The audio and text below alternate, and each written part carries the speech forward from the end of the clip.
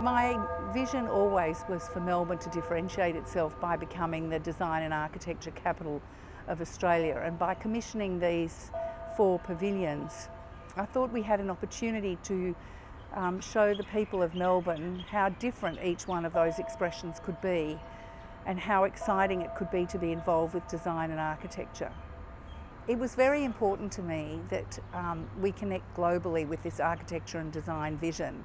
And of course, my um, initial inspiration for this pavilion was Julia Peyton Jones and Hans Ulrich Obrist from the Serpentine Pavilion. And they're now in their 15th year of pavilions and now attracting quarter of a million people every year. Amanda's approach to all her buildings, um, particularly one that I most admired, was the Birmingham Selfridges store. Her approach was bold, risk-taking, experimental. She worked with materials that had never been worked with before. And it seemed like the perfect architect to work with the MPavilion.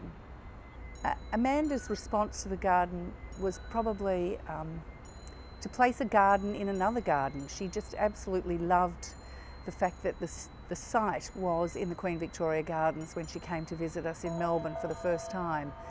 And her response was to build a tree-like canopy, as you can see here. Amanda's work has long been admired and one of her most important commissions is with the Victoria and Albert renovation at the moment.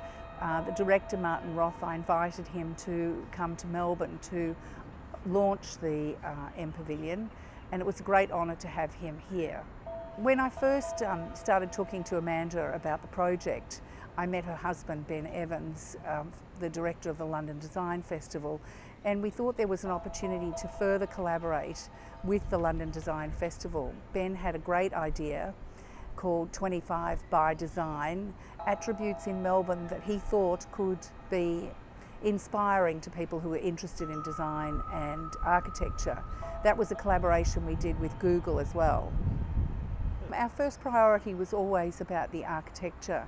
Um, the programming, of course, is um, an integral part, but the fact that we didn't have walls just provided us with more opportunities to be part of the garden.